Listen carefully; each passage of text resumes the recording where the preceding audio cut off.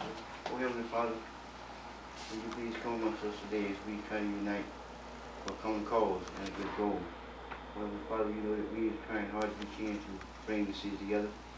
Lord Jesus, in your name, we ask your blessing this day that we can all get on one accord and cause something great to happen in this city. In your name, Jesus, we ask. Amen. Amen. I think most of everybody around here knows, everybody there, I don't know if you met Ms. Burns, she was the uh, fatherhood, you and, uh, Bill, but we kinda introduced ourselves before y'all came in. I think everybody else, you pretty much know everybody else here, right? I right? think so. Do you, uh, Not everybody. well, well, let's do that, let's introduce ourselves so he, he'll know, cause we want to have the opportunity to kinda know who we're dealing with. We can start him. Lance Mobley. Ulysses Williams. David Adams. Okay. I met, I rem- I remember, George Buster Everybody, everybody knows him. and Mr. Robinson. Okay. Um, And Bridget Byrne. And like I said, we split in a couple of, couple other people, but I wanted to, uh, get one of those, uh, letters in, uh. We got this in the email, uh, and, and really just sent this out as a way of generating discussion. Uh, I wanted to kind of give you all a background of how we got to this point though, and then, uh, look over this and then kind of generate some discussion about how we could, uh, move forward and kind of, uh, hopefully, uh, plan some positive events for our community. But um, the first time um, it came up, I met with George and Commander Childress and, and uh, J.C. Cunningham, and we had a meeting uh, regarding some of our parks, as well as um, uh, concerns about uh, some of our youth um, in the area and really not having any kind of activities uh, take part in, and wanted to try to do something to um, address that. We had some discussions around that. Uh, and also, my work in the community has been working around with that for quite a while. I think most of y'all know uh, my work in the community. Maybe you don't, Ms. Byrne, but uh, we have worked uh, diligently to uh, try to create um, positive opportunities for our, our children and our youth in the uh, community and, and kind of create opportunities as well. So uh, with that, the idea came to me one afternoon uh, when I was uh, watching a TV broadcast and there was a, it was out of Tallahassee, county manager and a mayor, they was having a pool party. And he said the reason they was having the party, come on, here? The reason they was having the party was to provide some positive uh, outlet for the youth during the summer. Because typically, uh, during the summer, uh, they saw a increase in crime. We have the same problems uh, here. Um, Our children are out of school, it's summertime, and, and a lot of them just find um, some negative activities to get into. Uh, and what they was doing, they was opening up their facilities to the kids and, and allowing them to come in after hours to uh, kind of host events and giving them some positive direction. And, and I was, you know, I take some of the uh, blame because I was part of uh, uh, the thinking that if we shut everything down, uh, then we'll solve the problem. But it's not. It's really just kind of shifting the kids from one place to another, and they're really not being provided any positive outlets, especially during the summertime. And on the weekends, uh, this is what I'm talking about is typically going on on Sunday afternoons. Uh, you know, we have a lot of kids gathering up uh, and, you know, trying to find something to do. So, came up with the idea of what you see in front of you. Uh, I'm calling it Valus Revitalization Area Events. Hopefully, we can come up with a better name, but it's just really something to um, kind of give us a starting point. Would you give her a copy of this? Uh, and, and it really to encourage and develop and improve the quality of individual and family life in the urban and rural areas of our, our city. Our mission will be achieved by creating safe, decent, and affordable housing which will serve as a catalyst for community improvement and strengthening economic conditions. The purpose will be to conduct economic uh, development events that will promote community development and promote small disadvantaged businesses that will provide needed services and businesses within our designated revitalization area. Um, I know that these are all goals of the uh, uh, city and things that we have been trying to work uh, toward for a long time and saw this as a way of all our agencies, the Parks and Recs, the city, and the Valdosta Housing Authority coming together to try to work together to do just that, uh, along with the community support that we believe uh, with that. I want to say this here tonight. Uh, y'all pardon my plan, it was a bad planning. I had about three or four pastors that said they wouldn't be here because of Bible study day. Church is kind of out, and next time we'll do this, we'll do it on a different night. But uh, we got three or four people in the group, and I think Pastor Williams, maybe Pastor Adams will uh, have um, uh, Bible study classes tonight. They're gonna have to leave around about seven. I hope we'll be finished by then. But what you have also in front of you is some proposed events. I want to discuss those briefly. And then um, the Housing Authority Director, Mark Stalvey, has, uh, you know, he emailed his suggestion because he's uh, said he'll be out of town, but he has a representative here. Uh, and talk about those suggestions and then open it up for some discussion around hopefully what we could do, come up with some positive events to have in our community to uh, get people in the community involved and then also support the uh, missions and, and, and, and things that we're trying to accomplish through the city parks and rec and the housing authority. And I know this from working with all these agencies that I think it's something that we're all trying to work toward and I didn't think was any better way than us to work together. But the voter education, registration, and participation, this is not in support uh, against any candidate. Uh, is really just to try to get um, the residents in these areas involved with the voting process and for them to realize that it's important for them to take part in that process. Uh, I spoke with, um, I tried to have somebody here from the Board of Elections. Uh, and they says uh, they was kind of short staffed at this time, but they informed me that they have training classes. And if we wanted to hold a voter registration event, we could get some people and we get trained up and, you know, have the uh, voter registration classes and we'll follow, I will follow up with them on that uh, day. Uh, some of the proposed event, uh, you'll hear this over and over again, the kids movies, they told me to change it from houses to some kind of, I don't know terminology, we'll work that out. Uh, antique and vehicle car show, fire safety, and, and maybe something with food vendors, but just a community event in the park where, like I say, on a Saturday, uh, Sunday, whenever we decide to do it, but you can walk down to the park and you can have these events going on in support of our vendor.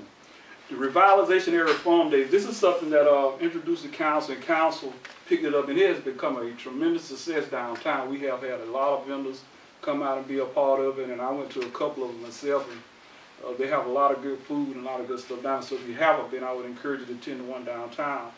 But I also wanted to try to host something like this in our park where we have uh, little small area farmers. I know y'all see them all the time, guys sit around selling watermelons and other little stuff like that where they could come out and maybe set up and we could do something like that. I know it's a lot of details we have to work out, but we could uh, talk about that and expanding the farm days to these areas uh, and stuff like that. The handyman program. Uh, this is something that came about as the um, as a um, uh, one of the uh, impediments identified in the AI, and they talked about how a uh, person purchases a 500 piece of $500 appliance can end up paying as much as $2,200 for that appliance through a rent-to-own uh, program. Uh, we they also identified that uh, we have a large amount of uh, single family here as a household, uh, majority of them being females. Uh, so providing a service like this, I think, will also create job opportunities and provide a service back to our communities to help do a needed repair, uh, yard maintenance, uh, and you know just anything, uh, hanging curtains, whether assembling furniture, anything like that. Well, you know people may need help. We could come in and we could assist them in those areas and stuff and identifying that market. But having something like that a part of an event and let people know that it uh, exists. If you turn to the second page, and I'm, I'm gonna go over this and then open it up for us to kind of talk a little bit.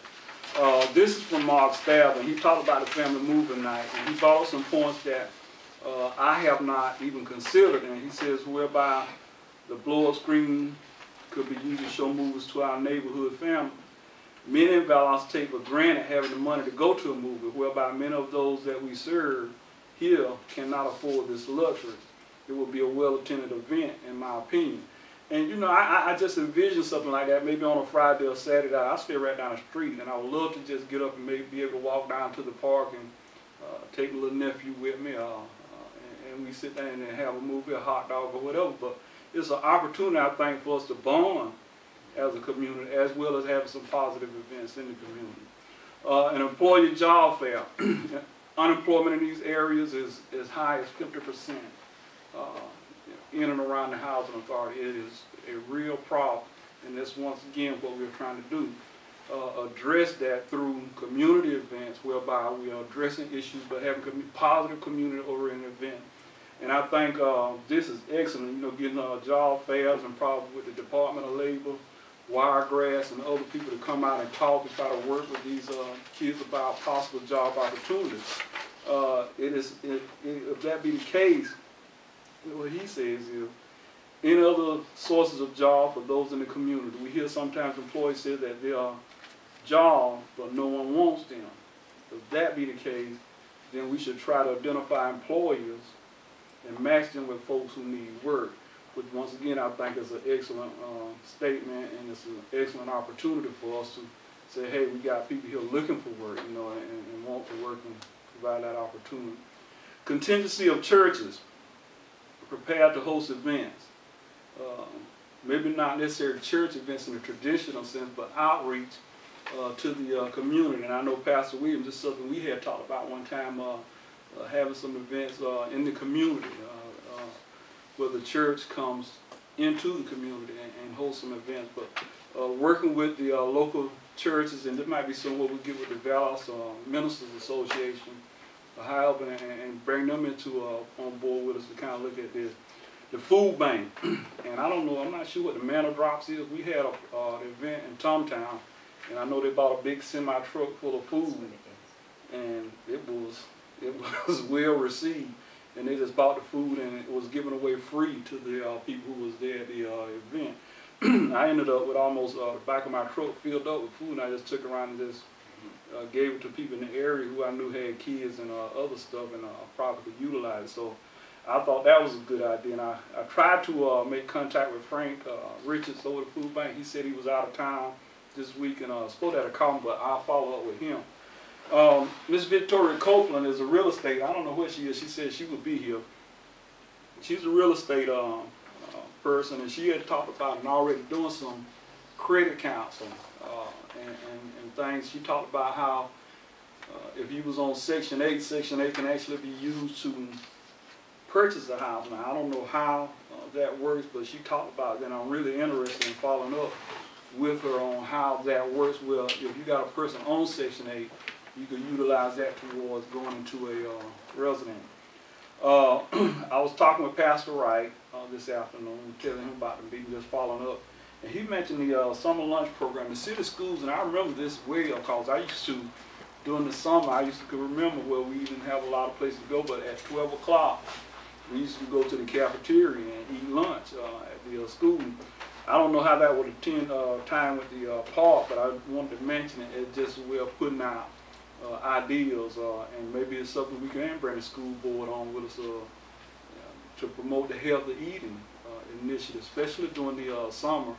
Uh, once again, when kids don't have access to a lot of this stuff because school is out, we don't have any programs and things in place, and that might be another opportunity for us to look at and explore.